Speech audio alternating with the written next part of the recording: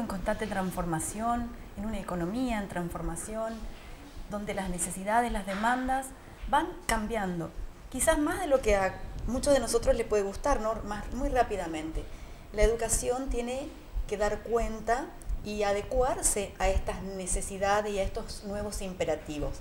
La licenciatura en análisis y tratamiento estadísticos de datos para la investigación socioeconómica, que aunque suene largo el nombre, es parte de estas propuestas de nuestra facultad, junto con otras carreras, para dar respuesta a estos tiempos y para formar profesionales que sean capaces de intervenir en este mundo.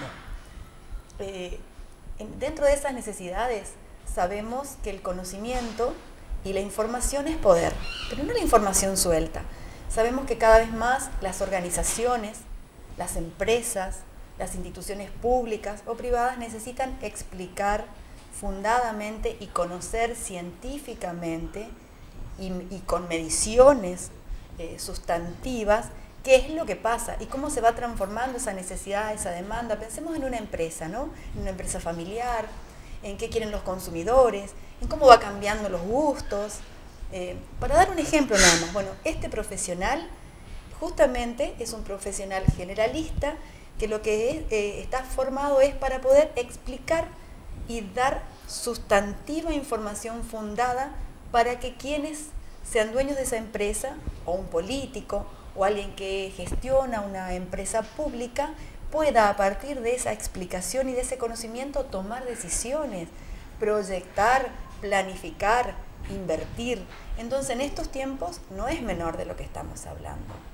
¿Sería en general el, campo profesional, digamos, de, un recibido de esta carrera? Así es, es un campo muy amplio, ¿no? Y por eso también estamos muy contentos, porque eh, la decisión fue, es la única carrera en el país con este con este nombre, pero no solo con este nombre, sino con este perfil. Es importante eso, puntualizar lo que es la única en el país, en la Universidad Nacional de Misiones. La tenemos acá. Así es, la tenemos acá, así que invitamos, está abierta la inscripción hasta el día 21, a que se acerquen, si quieren más precisiones, a la calle Tucumán 1946, al segundo piso, donde está la gente que coordina la carrera y podemos darle más precisiones y que se animen a hacer esta apuesta de ser los primeros profesionales en este campo, ¿no? Decía, es un profesional generalista. O sea, a diferencia de otras carreras, eh, puede después especializarse o en mediciones de marketing o de cuestiones de marketing político o de mediciones de estudios de mercado. O sea, puede ir o en estudios de estadística pública o de gestión de, de la salud. O sea, una vez que tiene esa base en estadística y en investigación cuantitativa, ¿no? Desde ese lugar puede después elegir un amplio espectro de eh, posibilidades para ir eh, haciendo su formación más particular en un futuro. ¿Y qué significa para la universidad tener esta, esta única carrera en el país? Bueno, es por un lado la concreción ¿no? de los proyectos y de una, y una apuesta institucional muy fuerte y también podemos decir que son sueños que se concretan, ¿no? Porque, bueno, por esto que decía, eh, no, queremos quedarnos en la reproducción, sino que queremos ir dando respuestas a estos nuevos desafíos.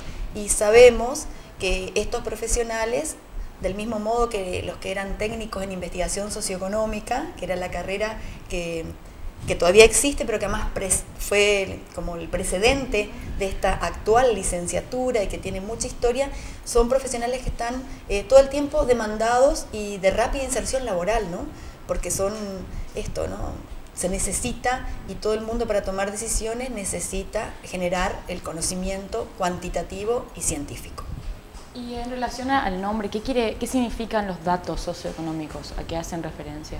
Bueno, eh, esto, ¿no? Eh, dato, el dato en realidad, que no es el dato solo la información suelta, sino que es justamente de qué modo se concentra eh, información o datos para poder explicar y el dato se transforma en conocimiento y el conocimiento se transforma en una herramienta para tomar decisiones y para poder eh, planificar y hacer apuestas, ya sea empresariales, como decía yo, de organizaciones o de política pública.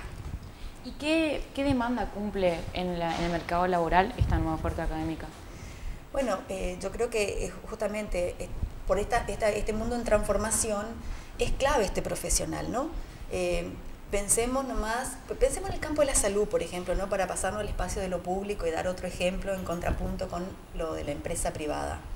Si nosotros no sabemos fehacientemente, más allá de las estadísticas o del dato crudo, de qué, de qué se enferma la gente, eh, de qué edad, qué da, eh, cuáles son eh, las tasas de incidencia o los perfiles epidemiológicos en nuestra provincia, de, de, acuerdo a los grupos y demás, mal podemos tomar decisiones de política pública que tiendan a resolver esos, esas situaciones y que protejan a toda la población, por ejemplo, ¿no? Entonces, justamente, este, este profesional está formado y preparado para ir dando respuesta a, cómo se van transformando las situaciones, ¿no? Estamos escuchando que reaparecen enfermedades, por ejemplo, ¿no? Que habían sido erradicadas.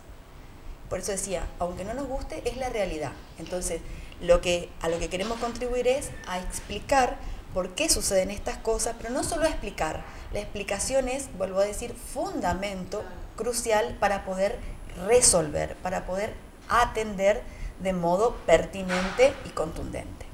Y por otro lado, para usted, eh, ¿fueron cambiando los tipos de carreras que hoy en día el mercado laboral requiere? Eh, en realidad, eh, los, tipos de carrera y los planes de estudio en realidad se van adecuando, uno puede decir ayornando, modificándose, transformándose en función de justamente las demandas y no solo las demandas del campo disciplinar, sino también del perfil de profesional, ¿no? desde aquel mundo en donde el mundo estaba dividido entre eh, en partecitas muy chiquititas, un profesional ponía eh, el tornillo, otro profesional apretaba el botón, otro profesional empaquetaba, a un mundo que nos pide profesionales que tengan cierta flexibilidad para adaptarse. Entonces no es solo qué, qué y cómo formamos, sino eh, también esto, ¿no? El, el profesional que formamos tiene que ser un profesional integral, que tenga esa flexibilidad para moverse en este mundo que es el que le tocó relación al plan de estudios, ¿cuál sería a grandes rasgos el plan de estudio de esta nueva carrera? Bueno, este plan de estudio tiene en principio una primera parte que es un título intermedio que se llama técnico en investigación socioeconómica y la opción de hacer la licenciatura que es con el nombre que vos mencionabas, ¿no?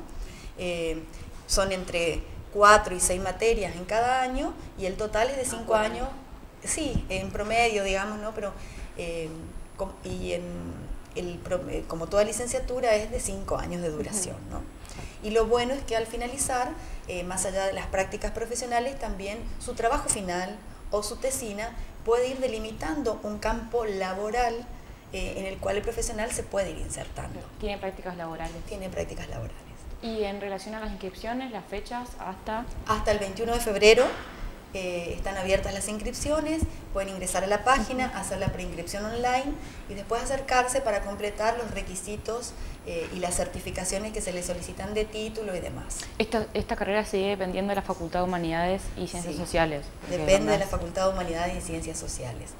También tenemos una nueva carrera aprobada que todavía no está abierta a la inscripción, pero que en el transcurso de este año esperamos poder organizar institucionalmente para ponerla en funcionamiento, que es la licenciatura en ciencias políticas, que también dentro de las demandas de este mundo en transformación es una carrera que hace rato eh, nos estaban pidiendo en el marco de la disciplina que nosotros abordamos. ¿Y qué expectativas tienen en relación ustedes como facultad a esta carrera? Bueno, una de las expectativas que, que es la, además es la que más estamos conversando y demás, es eh, generar las suficientes articulaciones con las empresas del medio, con las instituciones públicas, para que se cree ese feedback de entrada entre la universidad y el campo laboral, entre la formación profesional y el ejercicio profesional, ¿no? Porque eso es clave también en esto de las demandas del actual mundo laboral, ¿no? Eh, de qué modo podemos ir dialogando academia, y, mercado, academia y medio, como para ir eh, nutriendo y desafiando también para dar una respuesta, ir adecuando, haciendo las adecuaciones que correspondan.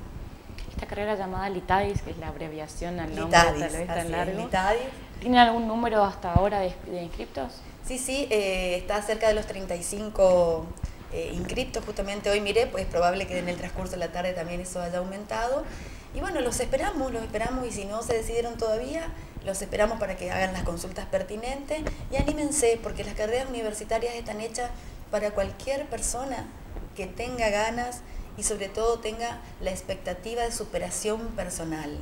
Eh, cualquier carrera, eh, más allá de los gustos personales o de las capacidades que cada uno tiene, por, se desarrollan, se piensan, se acompañan desde la institución, así que los esperamos. Y por último, esta carrera al ser tan específica no requiere ningún tipo de estudio previo, al una... No, no, ganas de estudiar. nada más. Eh, sí, como toda carrera va a haber materias que a algunas personas les van a gustar más y otras materias que por ahí gustan menos o que cuestan más si querés, pero bueno, son todas, todos los obstáculos en los procesos de aprendizaje son atendibles y, y se resuelven, digamos. Eh, el tema es animarse y desafiarse a uno mismo porque hoy un título es una gran herramienta para moverse en este mundo.